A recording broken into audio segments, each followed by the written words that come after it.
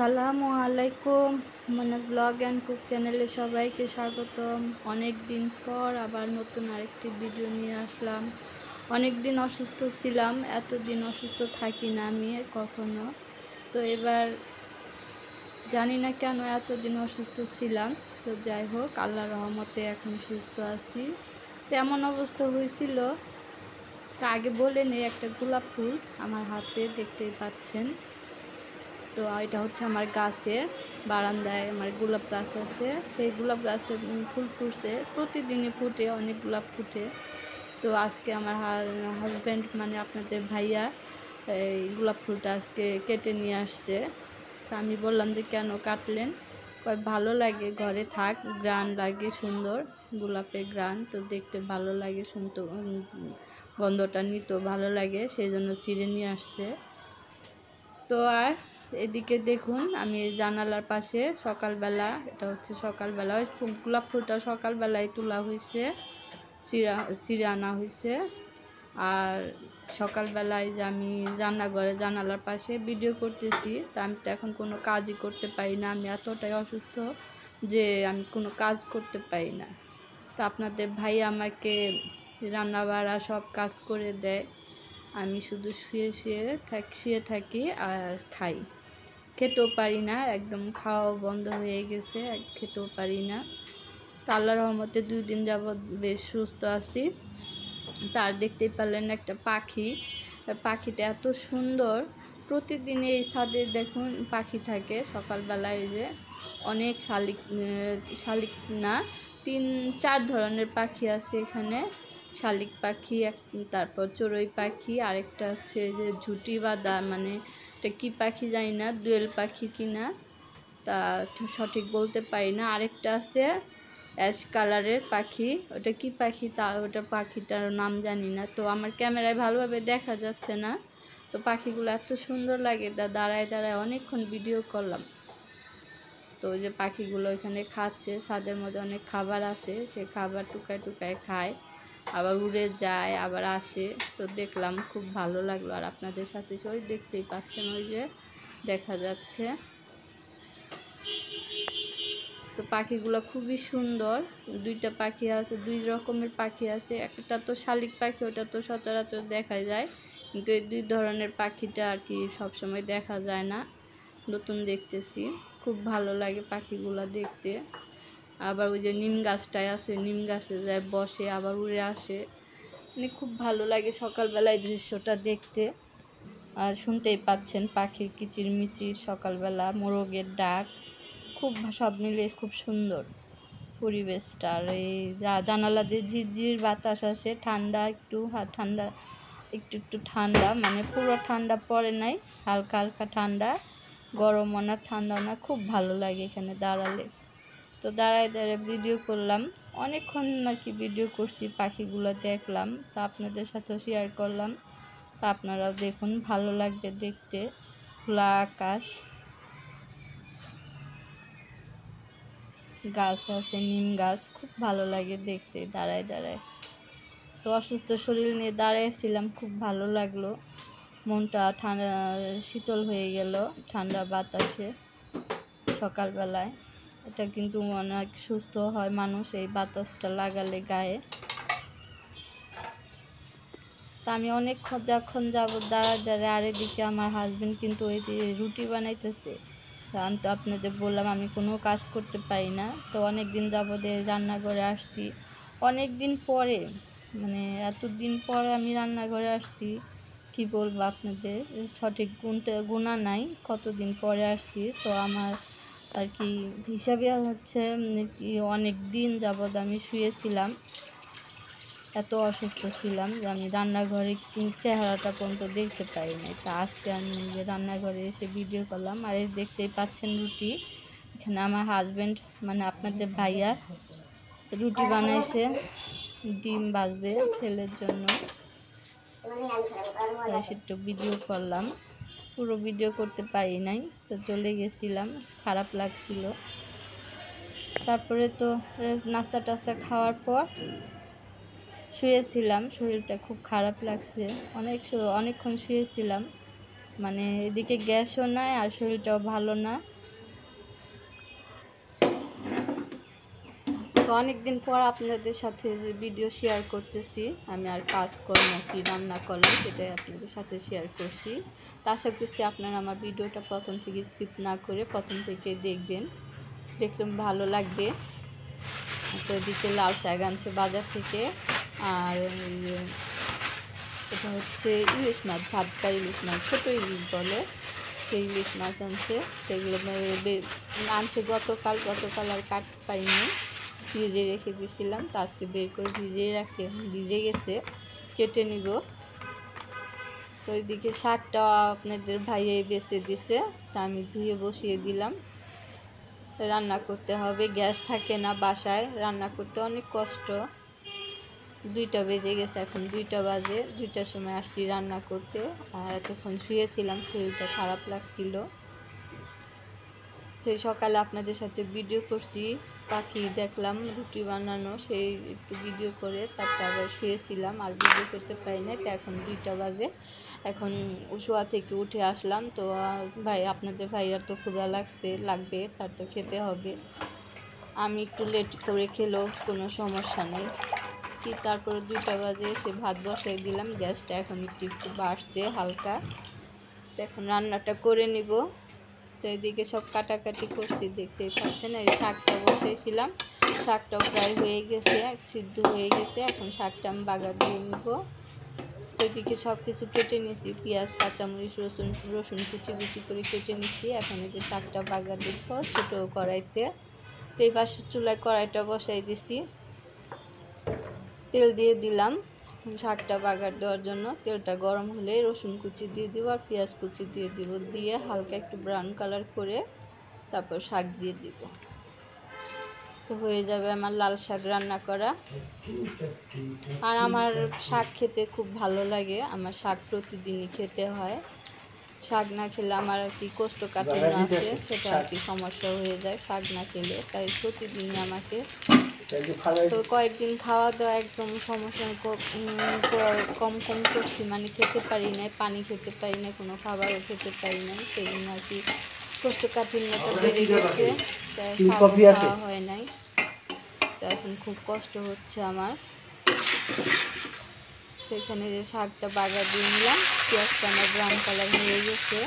শাক দিয়ে দিলাম সিদ্ধ শাকটা। কাঁচামরিচ দিচ্ছি দেখতে পাচ্ছেন কাঁচামরিচগুলো খুব সুন্দর সিদ্ধ হয়েছে শাকের সাথে। তাই কি ভাতের সাথে ডলে খেলে শাকের সাথে? খুবই মজা লাগবে খেতে। তো এদিকে দেখুন, আমার শাকটা বাগার দেওয়া হয়ে গেছে। আর এদিকে সব কিছু কেটে নিয়েছি তরকারি রান্না করব। আর তো এই দেখতেই পেলেন ছোটো ইলিশ, ওই ইলিশ মাছ রান্না করব। তো দুই রকমের তরকারি রান্না করব, আর লাল শাক ভাজি। এই হচ্ছে আজকে আমার দুপুরে রান্না বাড়া। তো এই শাকটা বাগার দিয়ে নিলাম। শাকটা আগে বাগার দেওয়া হয়ে গেছে ভাতও হয়ে গেছে। এখন তরকারিটা রান্না করা হলে আপনাকে ভাইয়াকে খেতে দিতে পারব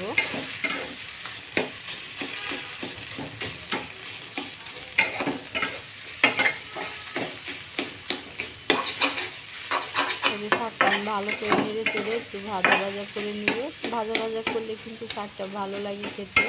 আর তা না হলে প্যাস প্যাস করে পানি থাকলে ভালো লাগে না খেতে। সেই জন্য আমি একটু ভালো করে ভেজে নিচ্ছি শাকটাকে। শাকটা আমার রান্নার হয়েই গেছে। এখন নামিয়ে রাখব। আর এই যে দেখুন, মাছ তো কাটাও হয়ে গেছে, ধুয়েও নিছি। আর এই যে শাক ভাজি হয়ে গেছে শাক ভাজি নামিয়ে রাখছি পাশে আর যে মাছ কী কী রান্না করব? বেগুন দিয়ে মাছ রান্না করব, ইলিশ মাছ। আমার আর আপনাদের ভাইয়ার খুব খেতে ইচ্ছে করছে। বেগুন দিয়ে ইলিশ মাছ, আর এখানে সিম আছে, কপি আছে, আর একটা আলু কেটে দিছি। এটা দিয়ে একটা তরকারি রান্না করব ইলিশ মাছ দিয়ে। আর একটা বেগুন, আর একটা আলু কেটে নিছি। এখানে একটা তরকারি রান্না করব। আমি, আমার আর আপনার ভাই, আপনাদের ভাইয়ার জন্য। আমরা বেগুন তরকারি তো সবাই খায় না, আমার ছেলেরাও খায় না।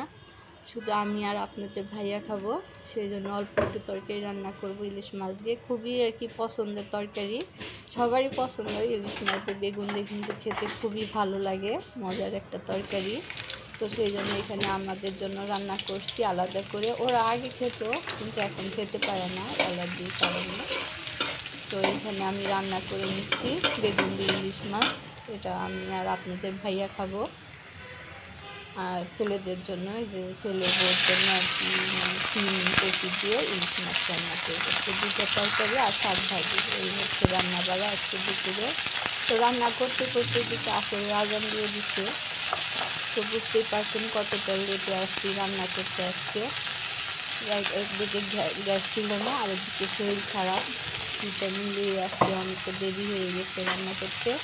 এতদিন তো আপনাদের ভাইয়া রান্না করে খাওয়াইছে, সে আবার আগে আগে রান্না করছে তার রান্না করতে দেরি হয় না, কিন্তু আমার রান্না করতে দেরি হয়। সে তো আর কোনো কাজ করে না, শুধু রান্নাই করে। আমার তো আবার অনেক কাজ থাকে, অনেক কাজ করতে হয়, তারপর রান্না করতে হয়। সে তো কোনো রকম একটু রান্না করছে, ব্যাস। এখন সব কাজ করতে হয় সেই জন্য আমার রান্না করতে দেরি হয়ে যায়। এদিকে মশলাটা কষিয়ে নিলাম। বেগুনি তরকারি রান্না করব। তো বন্ধুরা অনেক দিন পর আপনাদের সাথে ভিডিও শেয়ার করছি। আশা করছি আপনাদের ভালো লাগবে। পুরো ভিডিওটা না টেনে দেখবেন আর লাইক দিয়ে দিবেন। দেখার শুরুতে একটা করে লাইক দিয়ে দিবেন। আর আপনাদের একটা লাইক আমার অনেক দরকার। আপনাদের ভালোবাসা আর আপনাদের সাপোর্ট ছাড়া কখনোই সম্ভব না এগিয়ে যাওয়া। তাই প্লিজ বন্ধুরা, আপনারা আমার ভিডিওটা দেখে অবশ্যই একটা লাইক আর কমেন্ট করবেন। সাবস্ক্রাইব করে দিবেন, পাশে বেলটা অন করে রাখবেন, যাতে করে আমার নতুন ভিডিও আপনাদের সবার আগে পৌঁছে যায়। তো বন্ধুরা, এদিকে দেখুন, এই যে আমার বেগুনটা আমি কষিয়ে নিলাম, মশলা কষানোর পর এখানে একটা বেগুন আর একটা আলু আছে। তো এটা হচ্ছে আমাদের জন্য। আমাদের খুব খেতে ইচ্ছে করছে বেগুনের তরকারি সেই জন্য রান্না করলাম। বেগুনের তরকারি খেতে কিন্তু খুব ভালো লাগে। আর মাছটা যদি বড় হতো, তাহলে আরও ভালো হতো। মাছটা একদম ছোট, তেমন একটা টেস্ট লাগবে না। বড় মাছ দিয়ে বেগুন বেগুন দিয়ে রান্না করলে, বড় ইলিশ তাহলে টেস্ট অন্যরকম লাগতো। তো যাই হোক দুধের সব ঘুলে মেটানো। এই অবস্থা, ঢাকা শহরে সব কিছুরই দাম। যেমন সবজির দাম তেমন মাছের দাম? খাওয়া একটু সাধ্য ব্যাপার। আমাদের মতো মধ্যবিত্ত ফ্যামিলিতে। তো বন্ধুরা, তো অনেকদিন পর আপনাদের সাথে শেয়ার করলাম আমার ভিডিও আশা করছি ভালো লাগবে।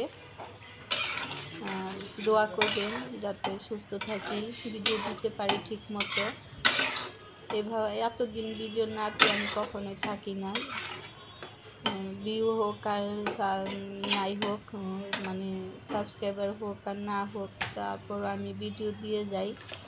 আর এতদিন পর আমি ভিডিও দিব ভাবতে পারিনি যে আমি এতটা অসুস্থ হয়ে যাব। অসুস্থ সুস্থতা হচ্ছে আল্লাহর দান, তা সুস্থ থাকাই কিন্তু অনেক জরুরি।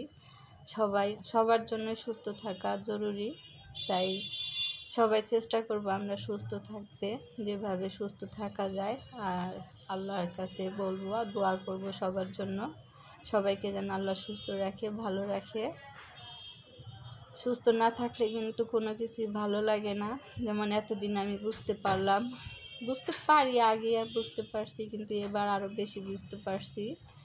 তো মৃত্যু কাকে বলে, মৃত্যুর ইয়া কষ্টটা কেমন সেটা বুঝতে পারছি ভালোভাবে। তো দোয়া করবেন সবাই সবার জন্য, সবাই যেন আমরা সুস্থ থাকি। আল্লাহর কাছে দোয়া করব, আল্লাহ যেন আমাদের সবাইকে ভালো রাখে, সুস্থ রাখে। বেঁচে থাকা, যতদিন আর কি বেঁচে থাকি আমরা, সুস্থ থাকাটাই বেশি জরুরি। তো যাই হোক, বেশি কথা বলে ফেললাম, কিছু মনে করবেন না। এদিকে তরকারিটা, আমি বেগুনের তরকারিটা কষে ঝোল টোল দিয়ে পাশের চুলায় দিয়ে দিছি, আর এই পাশে আবার সিমের তরকারিটা বসাচ্ছি। সিম আর কপি দিয়ে যে মাছ দিয়ে রান্না করব সেটা বসিয়ে দিলাম চুলায়, আর পাশের চুলায় বেগুনের তরকারিটা দিয়ে দিলাম। তো গ্যাসটা এখন আস্তে আস্তে বাড়ছে। তো বাড়লে কী হবে? এদিকে আসরের আজান দিয়ে দিছে। তো আসবে মানে আপনাদের ভাইয়ার তো খুব ক্ষুধা লেগে গেছে বেগুনের তরকারিটা হলে তাকে ভাত দিয়ে দিব। তো লাল শাক ভাজি দিয়ে আর বেগুনের তরকারিটা দিয়ে খেয়ে খাবে সে। সে খেলেই হবে, আমি একটু পরে গেলেও কোনো সমস্যা নেই। তো ওইদিকে দেখুন, আমার তরকারিটা কষানো হয়ে গেছে। এখন আমি পানি দিয়ে দিব ঝোলের পানি।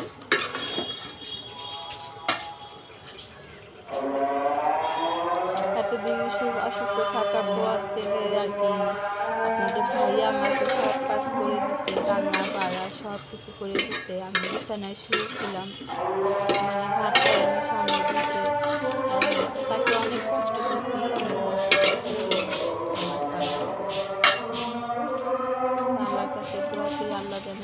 অসুস্থ না করে আমি, আমার জন্য সবাইকে কষ্ট পেতে হয়, আমার ছেলেরাও কষ্ট করছে। আপনাদের ভাইও অনেক কষ্ট করছে। আল্লাহ যেন মাফ করে দেয় আমাকে, সে দোয়া করবেন। আর যেন আমি সুস্থ থাকতে পারি, যতদিন বেঁচে থাকি। সুস্থ থেকে সবাইকে করে খাওয়াতে পারি, এই করি। সবাই আমার জন্য কষ্ট করবে, এটা আমি চাই না। আমি সবার জন্য কষ্ট করব, এটা আমার কাম্য এটাই আমি আল্লাহর কাছে বলি, আল্লাহ আমাকে সুস্থ রাখো আমরা সবাইকে সুস্থ রাখতে পারি, ভালো রাখতে পারি। সুস্থ রাখা একটা আল্লাহর দান। তো তারপরে দোয়া করি, সবাই দোয়া করবেন, যাতে ভালো থাকি। তো বন্ধুরা, এদিকে আমার এই যে কথা বলতে বলতে বেগুনের তরকারিটা হয়ে গেছে। ধনিয়া পাতা দিয়ে দিছি আর ধনিয়া পাতাটা এখন বেশি করে দিলাম। তার কারণ এখন তো শীতকাল চলে আসছে। ধনিয়া পাতা এখন অ্যাভেলেবেল পাওয়া যায়। আর আমার হাজব্যান্ড মানে আপনাদের ভাইয়া, সে ধনিয়া পাতাটা বেশি দেওয়া পছন্দ করে তরকারিতে। তার কাছে খুব ভালো লাগে। তো তরকারি রান্না করতে আসলে বলব, ধনিয়া পাতা বেশি করে দিবা। তো দেখতেই পাচ্ছেন, বেগুনের তরকারিটা আমার খুব হয়ে গেছে, অনেক সুন্দর হয়েছে আরেকটু ঝোল শুকাবো। শুকালে নামিয়ে নিব, নামিয়ে তারপরে আপনাদের ভাইয়াকে খেতে দিব। আর ওইদিকে সিমের তরকারিটাও বসাই দিছি। ওই তরকারিটাও সে খাবে না এখন, রাতে খাবে। তো ওটা ওই তরকারির জন্য তেমন একটা সমস্যা হবে না, আস্তে আস্তে হলেও। তো বন্ধুরা এদিকে দেখুন তরকারি টরকারি রান্না করা শেষ। আমার নামিয়ে নিছি এখন ভাতও দিয়ে দিয়েছি আপনাদের ভাইয়াকে। সে যে বসে বসে খাচ্ছে। টেবিলে ভাত দিয়ে দিছি খাচ্ছে হ্যাঁ, খুব মজা করে খাচ্ছে বেগুনের তরকারি। ইলিশ মাছ দিয়ে বেগুনের তরকারি তার তার খুবই মানে ধরে তার ইচ্ছা সে বেগুনের তরকারি মজা না? এই তো বন্ধুরা আপনার যে ভাইয়াকে খেতে দিয়ে দিছি সে মন ভরে পেট ভরে খাচ্ছে বেগুনের তরকারিতে। তো আজকের মতো ভিডিওটা আমি এখানে শেষ করব। দেখা হবে আরেকটা নতুন ভিডিওতে। সে পর্যন্ত আপনার ভালো থাকবেন, সুস্থ থাকবেন। আল্লাহ হাফিজ। আসসালামু আলাইকুম।